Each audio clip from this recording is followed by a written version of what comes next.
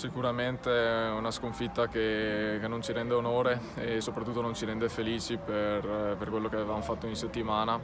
Non siamo riusciti a mettere in campo se non eh, nel primo quarto d'ora, nella prima mezz'ora, quando ci siamo trovati in vantaggio di un gol, non siamo riusciti a mettere in campo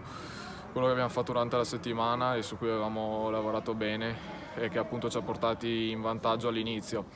In realtà sono convinto che la loro tenacia abbia, abbia avuto la meglio sulla nostra superficialità che appunto ci ha portato a subire prima il pareggio e a metà del secondo tempo circa il gol del 2-1. Abbiamo pagato disattenzioni a livello di posizionamento, ma non solo, penso che sia mancata per tratti della partita la comunicazione tra, tra i compagni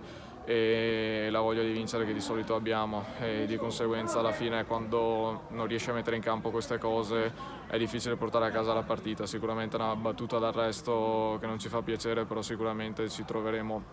la prossima settimana a portare a casa i tre punti sperando.